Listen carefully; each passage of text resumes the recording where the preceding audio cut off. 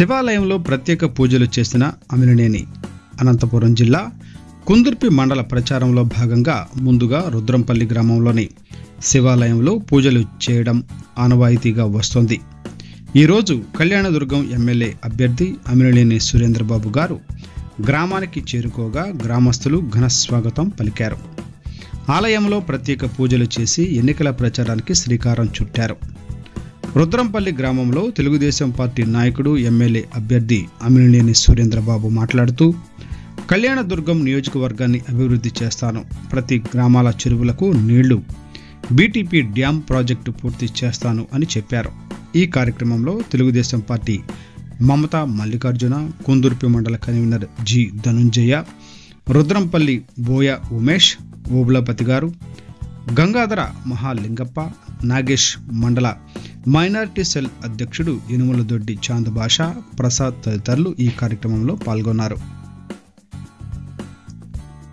ఎందుకంటే మండలంలో శివాలయం భగవంతుని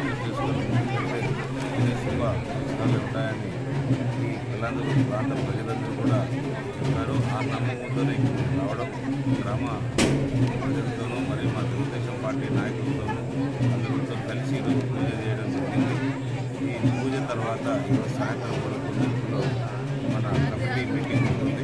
కూడా పాల్గొంటున్నాం.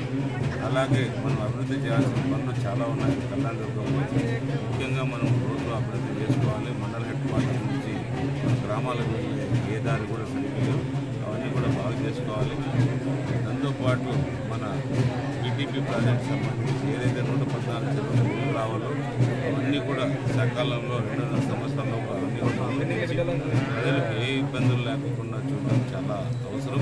ఎందుకంటే ఇప్పుడు తాగునీరుకి ముఖ్యంగా తాగునీరు చాలా ఇబ్బందులు పడుతున్నారు. ఏ గ్రామానికి వెళ్ళినా కూడా నీటి సమస్య బాగా ఉంది.